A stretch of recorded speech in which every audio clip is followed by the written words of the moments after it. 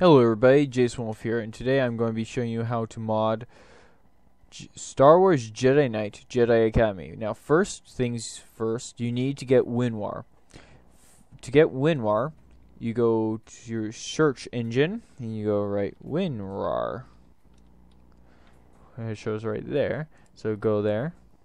Now look for the official site, RAR official site.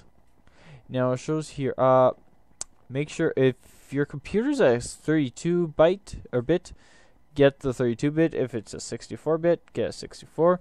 Now, find the country you live in, in the language. So, I would go with the English one here personally.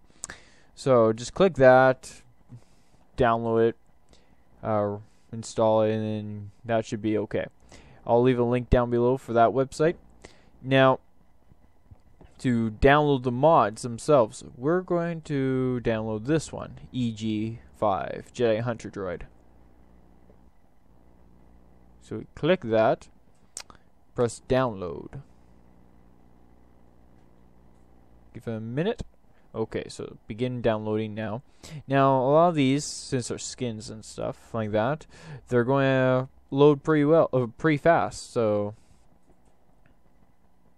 I think this is just it's 12 seconds. 10 seconds. 5 seconds. Voila, it's done. So you open folder and it should be here. So I'll just drag it on the screen so we can see it. So because it's in WinRAR, uh, since you have WinRAR, or you should, it'll be in this uh, you will have this icon over your folder. So you click that and you drag. Okay, this is the folder you need, not the README text. Uh, this folder here above it you need to get. So you click that and drag it onto the screen. And there. So that's our folder that we're going to be putting in the game.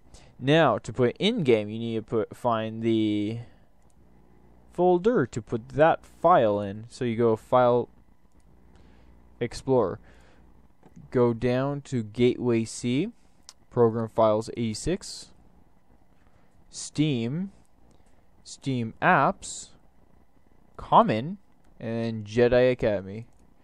Game Data, Base, and then this is the area you put the folder in, or the file in. So, voila, we put that in, and voila, that's in there. So, all you need to do now is just find the game, there is. And press play. Ah, just going to launch multiplayer because that's the easiest way to see it. How this guy looks. Okay, him. Join game. And voila. We're in. Pretty cool looking guy. So that's basically how you get and that is how you get mods like skins and different lights. You can get basically the same. The mods you can install uh, this way are, like I said, skin mods, lightsaber mods, pretty, uh, quite a few mods. And there I go. So, yeah. I think that's it. I hope you guys enjoyed that video, this video. I hope it's helped you.